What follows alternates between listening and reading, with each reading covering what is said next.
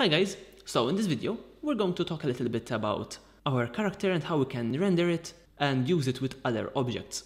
To do this I have opened in here the project file that we were working in before of the character that we have created ourselves and animated. Let's jump inside the composition where we have the character set up in here. So we're not in the character studio but we are in the composition that we have created earlier. So refer to the earlier videos if you would like to see how we, we did this. And in here we have all the animation set up and we're basically re ready to go to, to render.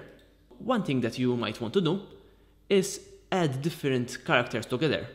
Now you can import a character inside this toolkit, so you can go to from here, you can select a character and import a new character from here. Simply drag this and drop it in here and create that new character, then give it its own animations and combine it in this composition.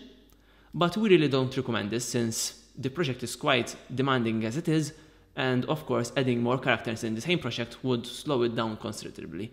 So we recommend to actually render this out first and then combine them and combine the exported video inside the different project. So we're going to do that, just that, we're going to export this and then show you how we can play with it afterwards. So make sure that you have all your animations set up and then from here we can export. So we're going to go to composition. First of all, select your work area. So select the area that you would like to render. I want to render until here. And then we're going to go to composition and add to render queue. We always suggest to add to render queue and not to add to Adobe Media Encoder queue when working with characters since the project is quite loaded with scripts and expressions and this would take a long time to open up in Media Encoder. So I'm going to add to render queue and from here we're going to go from, for the output module we're going to set the format to QuickTime and I'm going to set the channels to RGB plus alpha so that we'll retain the transparency.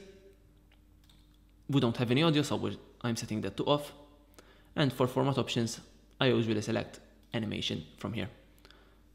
Click OK. For you to use the QuickTime presets, you might need to have the QuickTime player installed on your system.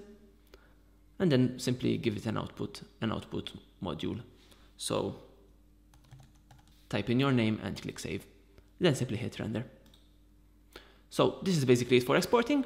We'll see you in the next video where we will combine this character with other things and play a little bit with it in there.